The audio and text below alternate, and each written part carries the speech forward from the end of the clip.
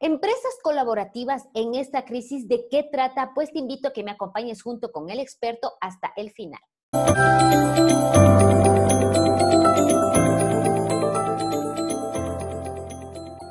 Emprendedores en el mundo digital 407.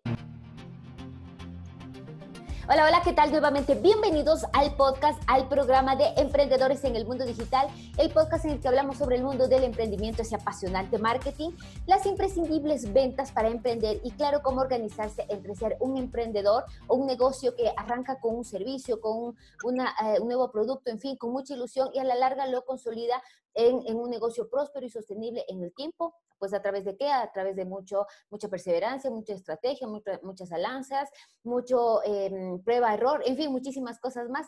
De esto trata este video podcast, ya saben que sacamos todos los días de lunes a viernes a la una de la tarde con el, con, eh, el afán de pues compartir eh, con ustedes conocimientos de estas valiosas entrevistas que hoy vamos a tener. En todo caso, eh, a todos ustedes bienvenidos. El día de hoy eh, voy a dedicar el podcast a todas aquellas personas que en esta eh, época de crisis muchas empresas están reinventándose, están aplicando colaboraciones con otras, están haciendo, por ejemplo, canje de servicios. Yo ya lo he manejado mucho y es una forma de ayudarnos mutuamente. Esto es imaginación, esto es reinventiva, pues de eso se trata. En todo caso, a todas aquellas empresas que se están reinventando, que están buscando colaborar de otra forma con otras empresas o apoyar de, otra forma con, a sus clientes, va dedicado el podcast. Y ya saben, invitarles siempre a que visiten la academia de como yo lo digo, es el Netflix de los emprendedores, porque ahí en lugar de películas vamos a ver cursos, cursos online que te van a permitir eh, dar esos primeros pasos, eh, apalancarte de las estrategias de marketing digital para dar a conocer el negocio. Y hoy por hoy es algo muy importante, digitalizar el negocio, ¿no es cierto? Así que Em, comentarles de que pueden, por una suscripción mensual, pueden acceder a todo el contenido. Echarle un vistazo que realmente está muy, muy eh, estupendo. Ahora sí, pues ya no les canso más.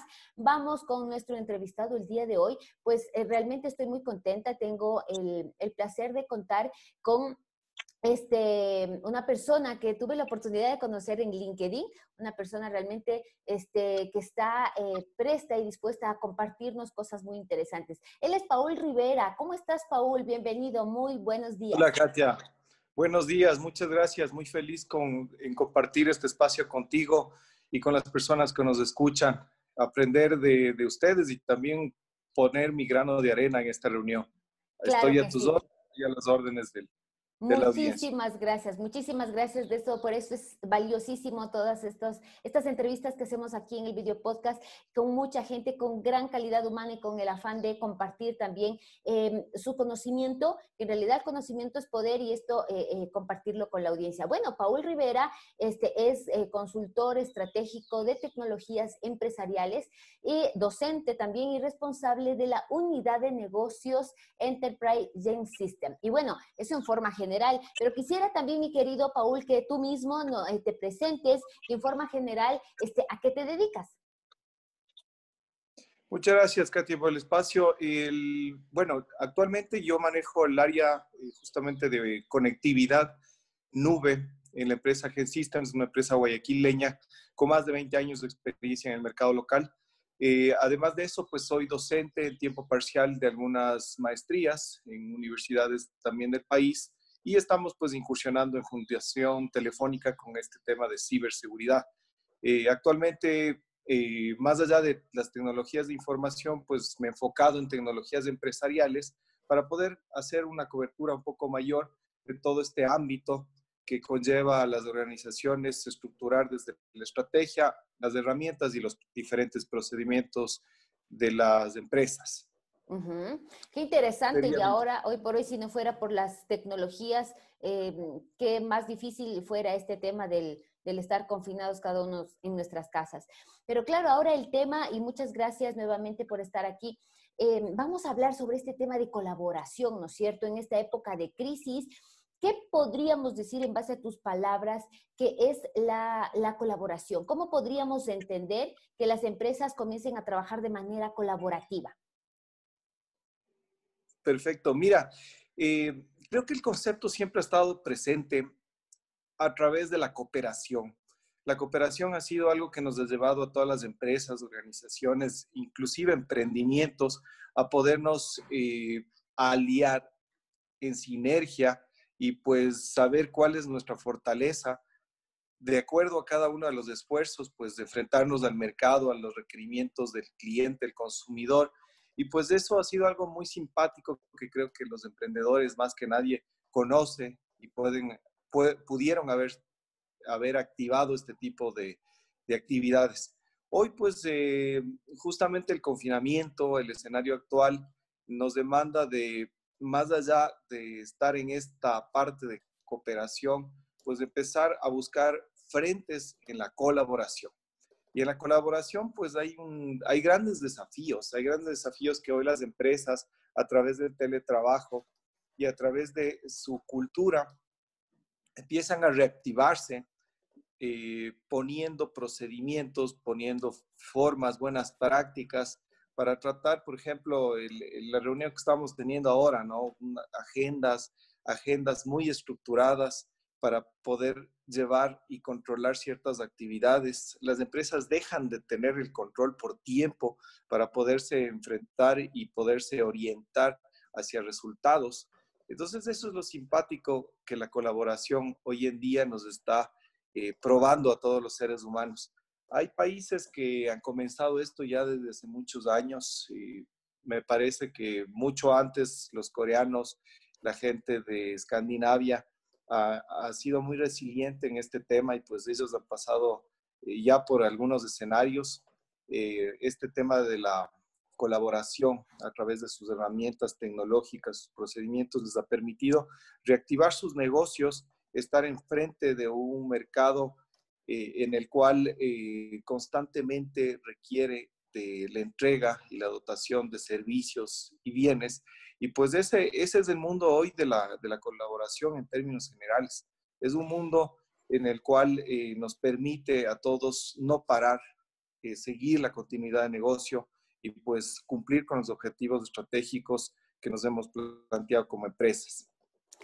Mira, has mencionado cosas tan valiosas, pero algo que puedo rescatar y que me parece algo muy sutil, pero de un trasfondo muy importante, es que ahora las empresas eh, se enfocan en ya no en controlar el tiempo, porque es muy difícil hacerlo si las, los colaboradores eh, están en diferentes sitios, están en sus casas, cómo controlar, pero sí que el enfoque esté eh, basado en resultados. Este es un contexto que a veces muchas empresas, incluso yo he visto en empresas tecnológicas, se han visto un poco eh, resistentes en que a pesar de que de pronto tienen la tecnología para que sus empleados puedan trabajar em, en sitios em, de pronto eh, más cómodos o, tener ellos la presencia más de estar con sus familias, eh, porque tienen esa capacidad, no lo han hecho. Y ahora obligadamente empresas que, pueden y las que igual no pueden han visto la necesidad de migrar en este contenido, en, esta, más bien dicho, en esta forma de trabajar. Ahora, eh, tú has mencionado también algo de herramientas tecnológicas que seguramente y sin duda son las que son eh, protagonistas para que el teletrabajo y estas nuevas formas eh, se puedan dar. ¿Nos podrías decir ¿Cuáles a tu criterio son estas herramientas que, las empresas deberían tomar en cuenta? Deben haber muchísimas en, el, sector, en este contexto, pero a tu criterio, ¿cuáles serían las, las indispensables? Mira, un poquito antes de entrar en el campo de las herramientas tecnológicas, las empresas deberían estar preparadas con lo mínimo en colaboración, saber al menos lo básico que, estas herramientas eh, deben ser seteadas, configuradas, parametrizadas para que todos podamos entrar en este mundo tecnológico virtual. Em, hay varias herramientas, la verdad, cada una tiene sus ventajas y desventajas. Algunas inclusive podrían bloquear y complicar un poco más el, el, teletrabajo. Entonces es muy importante saber cuáles son las herramientas que em, eh, a cada empresa le queda bien. Aquí el desafío es estandarizar el, tipo de, de, plataforma en la cual se van a unir. Hay herramientas, por ejemplo, como Microsoft Teams, Webex Teams. Eh, Webex de Cisco tiene una suite muy amplia. Eh, la herramienta que estamos usando, Zoom. Eh, finalmente, pues el desafío en cada una de las herramientas es que tenga lo esencial, la mensajería instantánea, que nos permita activar este tema de la telepresencia, la videoconferencia, que habilite entornos en los cuales pues eh, existan repositorios de documentos, existan pizarras, existan herramientas que nos permitan hacer sondeos y nos permita también canalizar decisiones. Eh, también el tema este de la grabación. Hay varios ejes que las herramientas de la, colaboración nos permiten activarnos. He nombrado estas tres herramientas porque me parece, a mi forma de ver, que son las herramientas que más se están usando, que mm, a nivel de uso de ancho de banda, ese es otro de los desafíos que nos hemos enfrentado en esta pandemia, eh, cómo uso optimizadamente el ancho de banda, sabiendo que papá trabaja, mamá trabaja, los hijos estudian. Los hijos, por supuesto. Los hijos, ¿no es cierto?, estudian y a ciertas horas pues entramos los cuatro a conectarnos. Es un caos, claro. Eh, y, y el caos eh, representa justamente seleccionar una herramienta que demande mucho ancho de banda. Eh, a veces no hay conciencia también en la calidad y en la, digamos, en, en, toda esa, esa forma de poder requerir el ancho de banda, de no optimizar el canal, también de, de, a ciertas horas ocupar mucho herramientas, por ejemplo, el YouTube. El mm. YouTube tiene una, de alguna manera el YouTube tiene mucha carga en, en cuanto a este tema.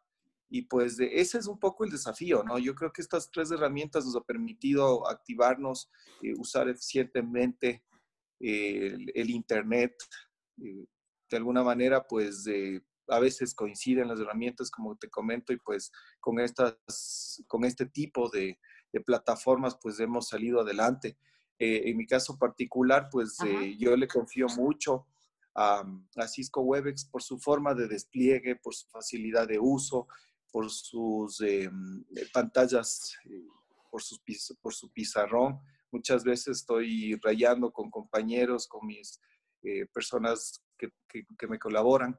Entonces, de alguna manera, pues sí, me, me, me, permite, digamos, esa forma de hacer una, una estructura colaborativa son las herramientas que yo te puedo nombrar, hay muchas más en el mercado.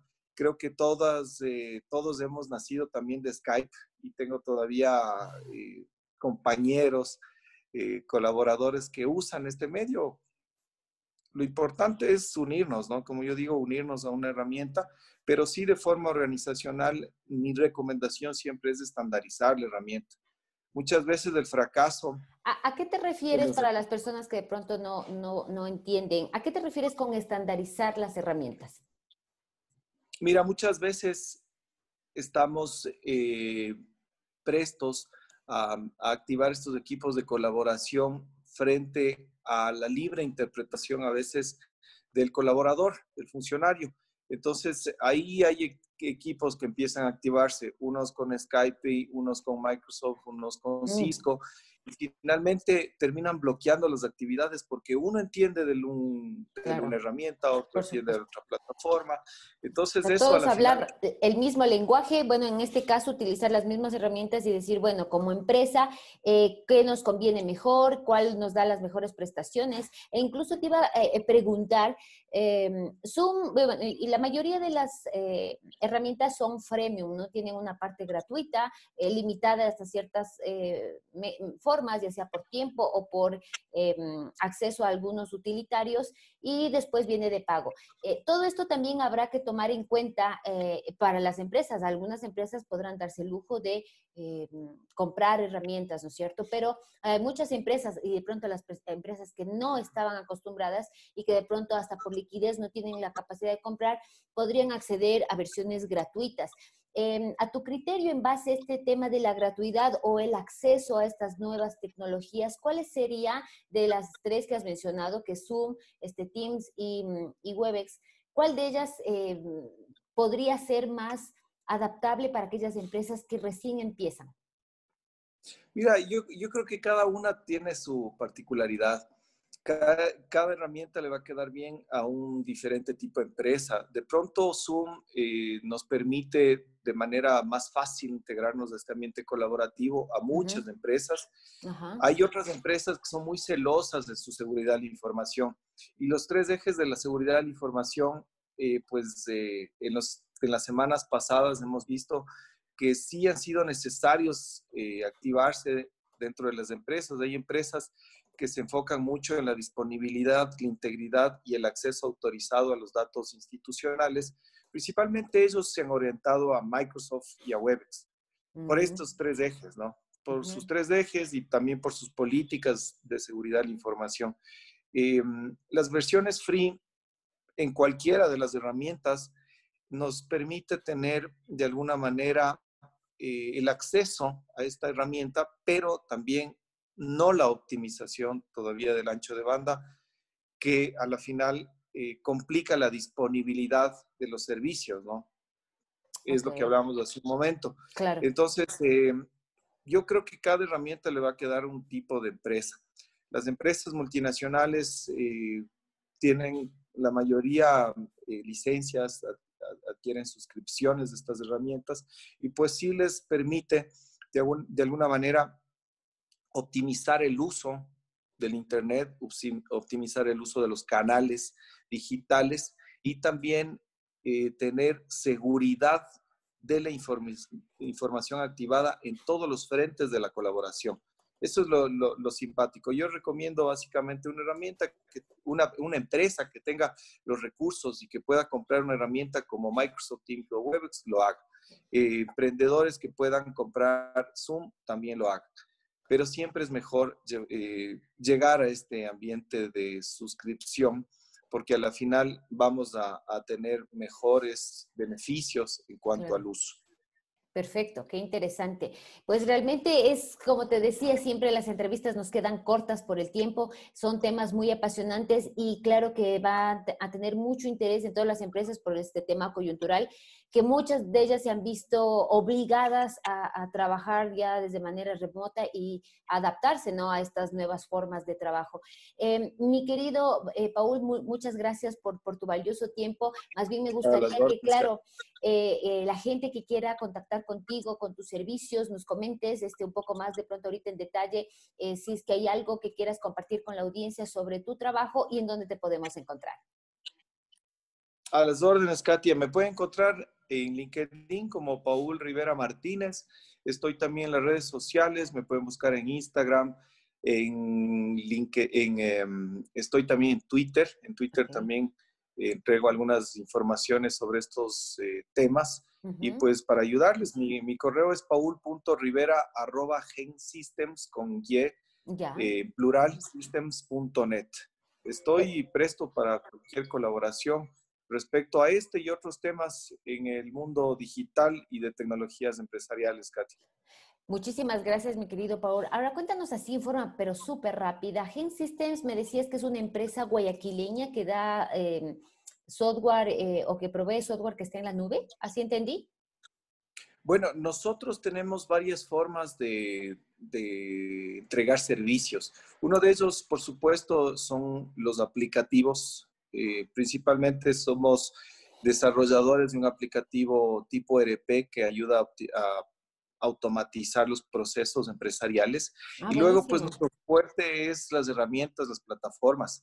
Estamos entregando plataformas como servicio, es decir, eh, rentamos equipos, hardware para el procesamiento y almacenamiento de datos eh, también permitimos a las empresas eh, la interconectividad entre computadoras, ambientes inalámbricos, implementamos plataformas de seguridad perimetral, hacemos un, eh, construimos ambientes integrales. Hoy está muy de moda el tema hiperconvergente y pues a través de la hiperconvergencia hemos entregado grandes facilidades de nubes locales. Algunas empresas se van a la nube, nube, nube, ¿no es cierto? Fuera de, de, Ecuador y algunas empresas todavía tienen el temor. Ese recelo, ¿no? Ese recelo, así es, por supuesto, el recelo de sacar sus datos fuera del país. Así es. Entonces, muchas veces construimos las nubes exclusivas, le damos facilidades financieras para que ellos puedan ser a mediano y largo plazo dueños de esa infraestructura y pues ellos a través de una gestión optimizada y centralizada pues tomen el control de su propia infraestructura y sus aplicativos de negocio. Qué interesante, qué interesante. Este, muchas gracias. Ahora, cuéntame, me quedé con la duda, ¿cómo se llama el ERP que ustedes están manejando? Bueno, tenemos algunos sabores de EDP. Eh, hay EDPs eh, eh, tipo Gen Systems, o sea, hay propios que los ah, hemos construido. Tenemos aliados también con Econ. Hemos implementado también soluciones a través del, famoso Odo, que es una herramienta mm. abierta. Sí, sí, la otra vez tuve la oportunidad de estar en una presentación en Odo que hubo ahí en el hotel, bueno, en un hotel de acá no me recuerdo, pero claro, muy interesante ese nuevo CRM que está teniendo impacto. Tenemos algunas herramientas abiertas. Ahora, te puedo decir que de, todas estas herramientas, la que hoy en el contexto actual eh, ha demandado mucho es la, plataforma de aprendizaje remoto y learning. Hay una herramienta abierta que se llama Moodle y con Moodle pues hemos optimizado dentro de nuestra infraestructura, de nuestros fierros, eh, a, empresas tipo Urbapark, por ejemplo, ellos son muy beneficiados de poder usar ese tipo de aplicaciones que son customizadas por nosotros y pues a la final eh, lo que te permite es entregar más eh, información a cada uno de los, de los roles y responsabilidades de la empresa y pues con esta herramienta tienes eh, la posibilidad de hacer menos errores. es una herramienta gratuita, mm. customizada, que la usa el cliente eh, yo te diría que esa de nuestro pool de herramientas es una, una de las, de las marcas de estrella por hoy. Qué interesante, muchos temas, manejas muchos temas muy interesantes, más bien te emplazo para que en otra oportunidad del podcast podamos hablar sobre otros temas más específicos. Y me estaba olvidando de una pregunta interesante, yo escuché sobre Webex que estaba gratuito. Em, ¿Es, ¿Es, cierto ahorita Webex lo maneja ahora gratuito o, o, solo por este tema puntual va a soltar algún acceso y de ahí nuevamente tiene un costo? Mira, Webex siempre por historia ha tenido su herramienta gratuita a nivel de, Teams, que es el frente de colaboración. En Teams tú tienes una versión que no tiene todos los features, todas las, las, digamos, las, características que te permiten activar completamente a la herramienta de colaboración, pero tiene lo básico como para que tú puedas hacer grupos de mm. trabajo, puedas ¿Hasta cuántos te permite con Webex hacer? Mira, la verdad, nosotros hemos tenido ambientes de hasta más de 60, 80 personas. Ah, hemos integrado a, un grupo de manera muy gratuita, grande, en el formato gratuito. De manera gratuita, así es. De pronto ahí no La tengo que probar. pruébale, pruébale. Yo te recomiendo mucho. De pronto no tienes el tema de la grabación, pero sí tienes una ah. herramienta que hoy, eh, más bien al frente de telepresencia, desde Teams puedes hacer telepresencia y videoconferencia no grabada. Mm. Pero en la, en la parte de Webex, en la parte de Webex Meetings, que es del otro lado más bien que secunda esta herramienta de, de, Webex Teams, es como dos frentes, ¿no? Webex Teams para la parte de colaboración y Webex Meetings para la parte de telepresencia. En telepresencia y en videoconferencia, con esta herramienta, hoy por hoy te están dando 60 días free. Entonces, muchos equipos lo están probando. Obviamente, llega llegan los dos meses, tendrás que suscribir. No es muy caro. Es ¿De cuánto estamos hablando mensualmente? Mira, de, acuerdo al ejercicio, hemos, hemos visto que, por ejemplo, empresas que tienen 100 empleados, eh, una suscripción podría rondar entre 3 y 5 dólares por, por usuario mensual. Entonces, son herramientas que no, no demandan de una inversión muy alta. Muy alta, para todos los beneficios que, que brindan. ¿no? Así, es, si no tienes hardware de por medio, que eso también muchas veces es, es, un tema complicado por el tema obsolescencia y depreciación. Por supuesto. eso a los contadores les tiene locos. Entonces, eh, si es que apuestas a un, a un esquema de suscripción, pues muchas, muchas empresas se benefician de estos asuntos. Esa es la tendencia, ¿no? No solo en este tema colaborativo, sino CRM, DRPs y todo es la tendencia a, la suscripción para evitar todos estos costos que tú bien señalas, que los contadores se vuelven locos por eh, eh, adquirir tanto hardware, de pronto a la larga es complicado. Bueno, eh, como te digo, estos temas son tan apasionantes, nos fuéramos de largo, pero en honor al tiempo ya tenemos que cortar. Nuevamente te agradezco, mi querido Paul, ya saben, van a quedar en las notas del programa, queridos amigos, este, los enlaces para que puedan de pronto hacer consultas y contactar directamente con Paul, experto en estos eh, temas colaborativos. Y pues bueno, eh, gracias por escuchar el podcast en las diferentes plataformas, ya sea en formato de audio en Spotify, en Google Podcast, en iBox, en iTunes, también en formato de video en YouTube Gracias por suscribirse a los cursos, ya saben, porque sin ustedes del otro lado esto no existiría. Nos vemos y nos escuchamos el día de mañana con un tema de marketing y ventas. Un fuerte abrazo. Chao, chao.